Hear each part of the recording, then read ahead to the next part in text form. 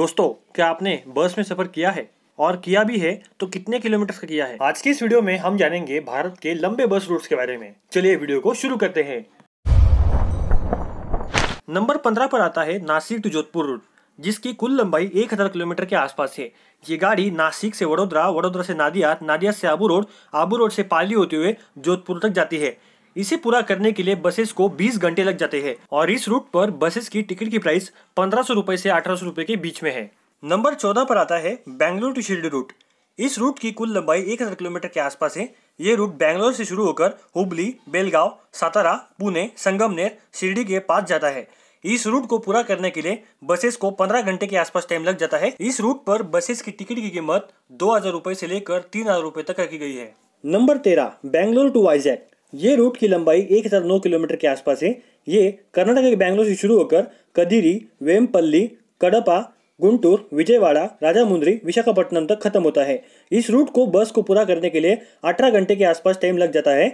इस रूट पर बसेस की टिकट की कीमत एक हज़ार छह सौ रुपए से लेकर दो हज़ार आठ सौ रुपए के बीच में रखी गई है। नंबर बारह, नागपुर टू बैंगलोर रूट। इस रूट की कुल लंबाई एक किलोमीटर तक है। ये रूट नागपुर, महाराष्ट्र से शुरू होकर हिंगन घाट पिंपलकुटी हैदराबाद, अनंतपुर और बैंगलोर, कर्नाटका तक खत्म होता है। इस रूट की कुल लंबाई एक किलोमीटर है और इसको पूरा करने के लिए बसेस को अठारह घंटे तक लग जाते हैं। इस रूट पर टिकट की कीमत शुरू होती है एक हज़ार सौ लेकर दो हज़ार तक। नंबर ग्यारह, दिल्ली टू काठमांडू रूट। इस रूट की कुल लंबाई एक हज़ार एक सौ तिहत्तर किलोमीटर है। ये रूट भारत की दिल्ली से होकर नेपाल की काठमांडू तक जाता है। इस रूट पर यह गाड़ी दिल्ली, आगरा, लखनऊ, कावासोती खानी खोला और चंद्रगिरी से होकर ये गाड़ी नेपाल की काठमांडू तक जाती है। इस रूट को पूरा करने के लिए बस को 30 घंटे तक समय लग जाता है। इस बस के टिकट की कीमत शुरू होती है तीन हज़ार रूपए से लेकर चार हज़ार रूपए तक। नंबर दस, मुंबई टू चेन्नई रूट। इस रूट की कुल लंबाई एक हज़ार तीन सौ सैंतीस किलोमीटर है। ये रूट महाराष्ट्र के मुंबई से शुरू होकर पुणे, कोल्हापुर, हुबली, बैंगलोर, वेल्लोर, तमिलनाडु की चेन्नई तक जाता है। इस रूट को पूरा करने के लिए बसेस को 25 घंटे के आसपास समय लगता है और इस रूट पर गाड़ी की टिकट की कीमत शुरू होती है एक हज़ार आठ सौ रुपए से लेकर दो हज़ार पाँच सौ रुपए तक। नंबर नौ, सिलचर टू कोलकाता। ये रूट सिलीचर आसाम से लेकर कोलकाता, वेस्ट बंगाल तक जाता है। इस रूट की कुल लंबाई एक हज़ार तीन सौ अड़तीस किलोमीटर है। यह आसाम सिलीचर से शुरू होकर गुवाहाटी, सिलीगुड़ी, मालदा, बर्धमान, कोलकाता, वेस्ट बंगाल तक जाता है। इस रूट को पूरा करने के लिए बसेस को 36 घंटे के आसपास समय लग जाता है। इस रूट पर टिकट की कीमत शुरू होती है दो हज़ार से लेकर तीन हज़ार आठ सौ तक। पर इस कोविड में इस रूट को अभी इनएक्टिव कर दिया गया है। नंबर आठ, दिल्ली टू सिलीगुड़ी। इस रूट की कुल लंबाई 1460 किलोमीटर है। ये रूट शुरू होते हैं दिल्ली, आगरा, लखनऊ, फैजाबाद, मुजफ्फरपुर आरारिया सिलीगुड़ी तक ये रूट जाता है। इस रूट को पार करने के लिए बसेस को 33 थ्री आवर्स यानी तैतीस घंटे लग जाते हैं। इस रूट पर बसेस की टिकट की कीमत शुरू होती है दो हज़ार सौ रुपए से लेकर तीन हज़ार रुपए तक। नंबर सात, बैंगलोर टू अहमदाबाद रूट। इस रूट की कुल लंबाई 1490 किलोमीटर है। ये कर्नाटक के बैंगलोर से शुरू होकर पुणे, मुंबई, वापी, सूरत, वडोदरा और गुजरात के अहमदाबाद तक खत्म होता है। इस रूट को पार करने के लिए बसेस को 30 घंटे का समय लगता है और इस रूट पर बस की टिकट की कीमत शुरू होती है एक हज़ार छह सौ से लेकर तीन हज़ार रुपए तक। नंबर छह, दिल्ली टू कोलकाता। ये रूट एक हज़ार पाँच सौ तीस किलोमीटर का है। ये रूट शुरू होता है दिल्ली, आगरा, लखनऊ, धनबाद, बर्धमान और खत्म होता है वेस्ट बंगाल के कोलकाता में। इस रूट को पूरा करने के लिए बसेस को 38 एट आवर्स यानी अड़तीस घंटे लग जाते हैं। इस रूट पर आपको अगर सफ़र करना होगा तो आपको अट्ठाईस रुपए से लेकर पैंतीस रुपए तक टिकट मिल जाता है। नंबर पाँच, बैंगलोर टू उदयपुर रूट इस रूट की कुल लंबाई एक हज़ार सात सौ बाईस किलोमीटर है।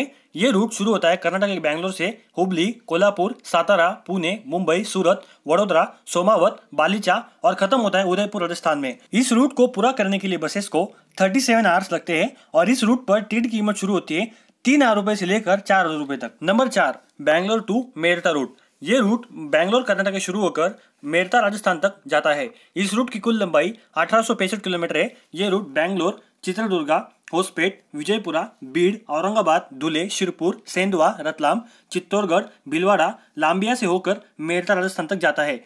इस रूट पर बस को सफ़र करने के लिए उनचालीस आवर्स यानी थर्टी नाइन आवर्स लगते हैं और इस रूट पर टिकट की कीमत शुरू होती है एक हज़ार सात सौ रुपए से लेकर चार हज़ार रुपए तक। नंबर तीन, दिल्ली टू ढाका। इस रूट की लंबाई एक हज़ार आठ सौ सत्तर किलोमीटर की है। ये भारत की दिल्ली से होकर आगरा, लखनऊ, गोरखपुर, कोटवा बक्साला मालदा, एलंगा से होते हुए ये रूट बांग्लादेश के ढाका तक जाता है। नंबर दो, बैंगलोर टू जोधपुर रूट इस रूट की कुल लंबाई 1940 किलोमीटर है। ये रूट कर्नाटक के बैंगलोर से शुरू होकर पुणे, मुंबई, सूरत, अहमदाबाद, पालनपुर, आबू रोड, सिरोही, पाली होते हुए जोधपुर राजस्थान तक जाता है। इस रूट को पूरा करने के लिए बस को 36 घंटे लग जाते हैं। इस रूट की टिकट की कीमत शुरू होती है एक हज़ार आठ सौ रुपए से लेकर पाँच हज़ार रुपए तक। दोस्तों, अभी जानेंगे नंबर वन रूट के बारे में, जो है भारत का सबसे लंबा रूट।